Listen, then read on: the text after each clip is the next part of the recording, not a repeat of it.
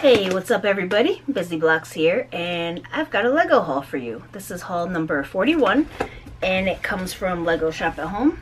Got a box in today. Let's see what we've got.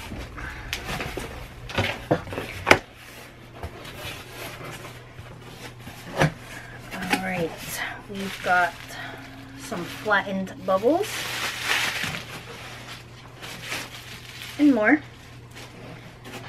this is the main reason why I placed an order.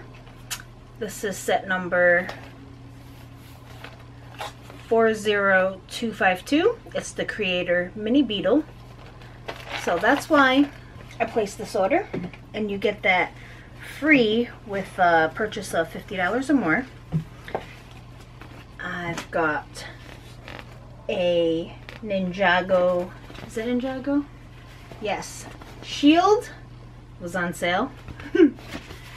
Not sure what I'm going to do with that, but it's pretty cool. And I've got Nexo Knight dress up thingy. I don't even know who this is. But that was on sale. Grab that. And then I've got this Nexo Knight minifigure pack. Don't remember ordering that, but I do remember looking at it, so I'm sure that is correct. And then I've got the Batman min, uh, movie minifigure display case. Figured I can display those that way. And then I've got the same thing, the Marvel superhero one and I'm gonna put my favorite minifigures in here I think because I collect um, the superhero minifigs.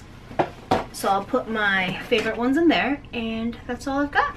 So please remember like comment subscribe and I'll talk to you guys soon